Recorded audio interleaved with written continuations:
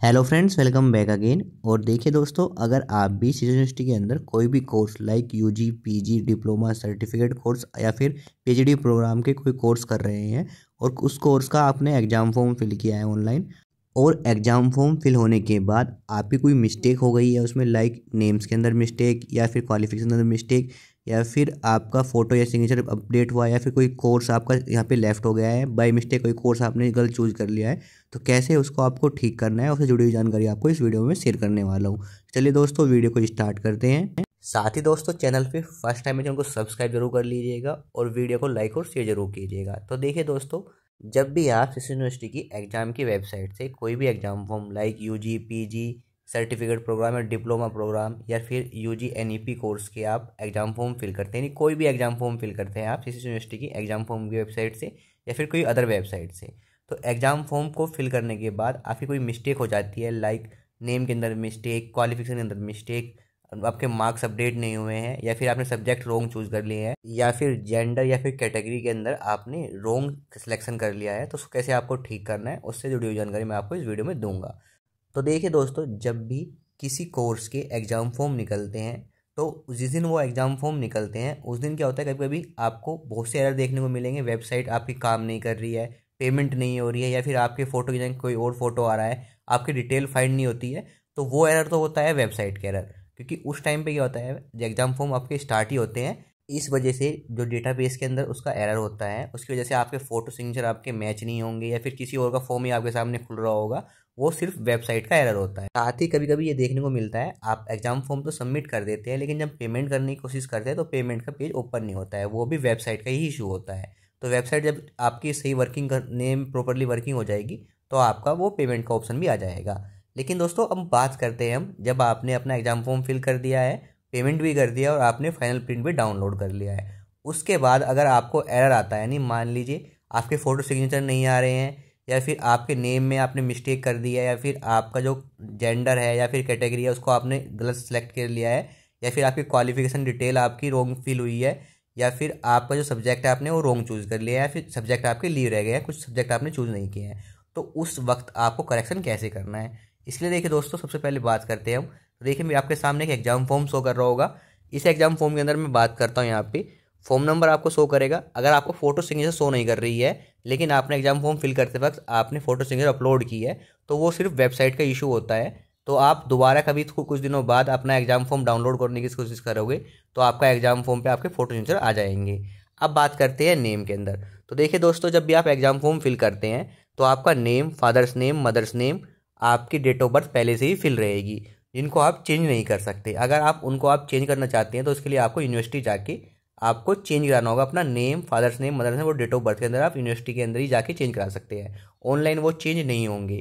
साथ ही बात करें दोस्तों, अगर आपने जेंडर आपकी कैटेगरी डोमिसाइल स्टेट आपने रोंग चूज़ किया है तो उसको आप चेंज कर सकते हैं। ये चेंजेस आपके ऑनलाइन भी हो जाएँगे, यानी आप यूनिवर्सिटी को मेल करेंगे तो भी आपका ये चेंजेस हो जाएँगे। लेकिन मैं प्रेफर करूँगा ऑनलाइन करने की ज़रूरत नहीं है। जब भी आप एग्ज़ाम फॉर्म फिल करेंगे एग्ज़ाम फॉर्म फिल करने का फाइनल प्रिंट निकालेंगे तो जब कॉलेज में सबमिट कराएँगे उस वक्त आपको बता देना है कॉलेज में कि हमारी ये मिस्टेक हो गई है, वो आपका चेंजेस कर देंगे। क्योंकि कॉलेज के एडमिन लॉगिन से आप ये चेंजेस करा सकते हैं। साथ ही बात करें मोबाइल नंबर और ईमेल आईडी अगर आपने रोंग भी फिल कर दिया, उससे कोई फ़र्क नहीं पड़ने वाला है तो उसको आप चेंजेस कराना चाहते हैं तो वो भी आप कॉलेज से करा सकते हैं। अब बात करते हैं क्वालिफिकेशन डिटेल की। अब देखिए दोस्तों, मान लिया आप यूजी के फॉर्म फिल कर रहे हैं और आपने टेन ट्वेल्थ की डिटेल आप क्वालिफिकेशन फिल की है, या फिर पीजी की डिटेल के लिए आपने यूजी की डिटेल टेन ट्वेल्थ की डिटेल आपने दी है।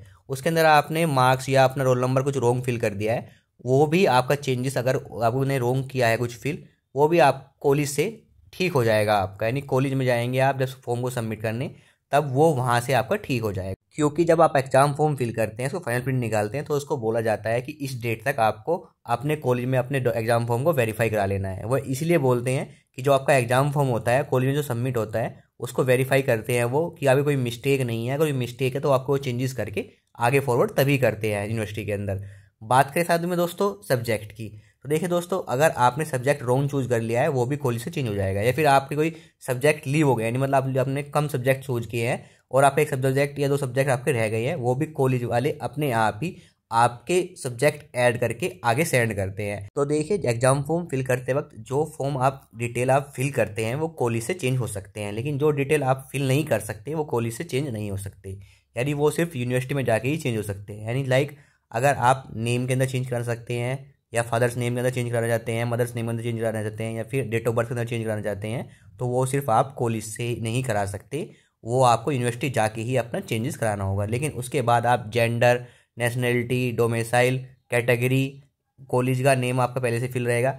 लेकिन साथ में mobile number email ID qualification detail साथ ही आप सब्जेक्ट की डिटेल आप अपने कॉलेज से ही चेंज करा सकते हैं, जहाँ पे आप आपको फॉर्म जो सबमिट करना है एग्ज़ाम फॉर्म फाइनल फॉर्म जो आप सबमिट करेंगे, वहाँ से आपके चेंजेस हो जाएँगे।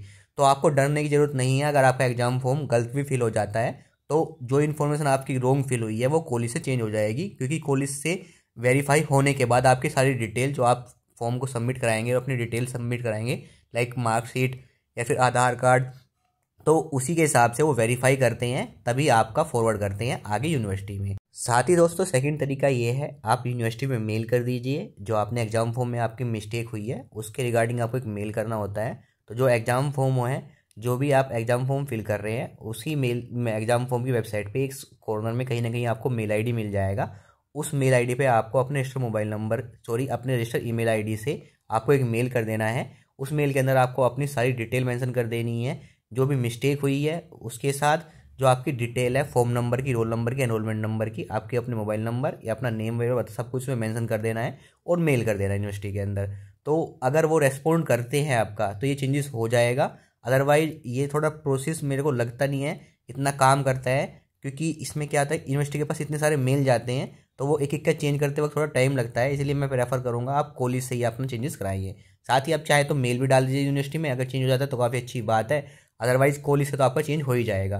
तो दो तरीके हैं आपको चेंज कराने की, अगर आपका एग्ज़ाम फॉर्म के अंदर कोई मिस्टेक हो जाती है तो आप उसको कॉलेज से और दूसरा मेल के थ्रू आप चेंजेस करा सकते हैं।